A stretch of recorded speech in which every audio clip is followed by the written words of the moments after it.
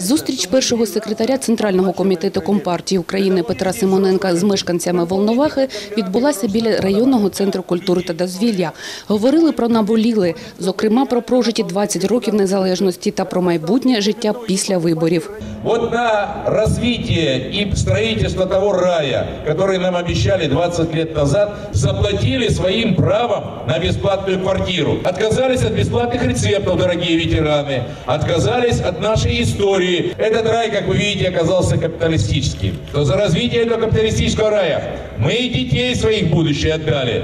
Петро Симоненко вважає, що план практичних дій, розроблений за пропозиціями простих українців, реальний шлях виведення країни з кризи та відновлення соціальної справедливості. Мы сегодня живем хуже, нежели жили десяток-два десятка лет назад. Ну, ми були довольні. Ми були довольні. Нас партія вивчила, Да, роботу да, дала. да. А тепер все забрали. Пенсіонний возраст не достигла, але мене викинули як собаку. Роботи немає. Поля забрали, забрали на землю, нічого не дають. Ми за себе не переживаємо. Ми переживаємо за Україну. За внуків. За Україну, за всю. Початок відновлення країни українські комуністи планують з націоналізації базових галузей промисловості та повернення державної монополії на алкоголь та тютюнові вироби. Звідси і поповнення бюджету, достойні пенсії та медичне обслуговування, ліквідація безробіття, відновлення приміського залізничного сполучення у необхідних об'ємах. Сьогодні прийняли закон о приватизації Укрзалезницы. И уже по Донецку и мои товарищи поднимают вопрос о том, чтобы электрички отстоять цены и прочее. А ведь разделили на две части. Себе грузовые перевозки олигархи забрали, а пассажирские перевозки на карман простых людей.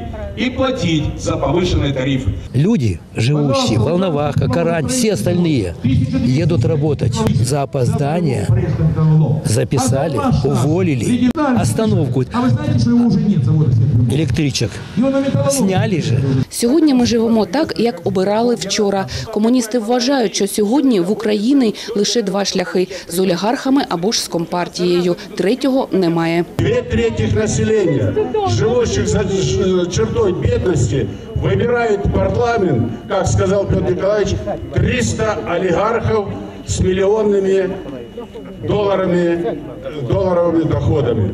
Давайте 28 числа вот этот парадокс устраним.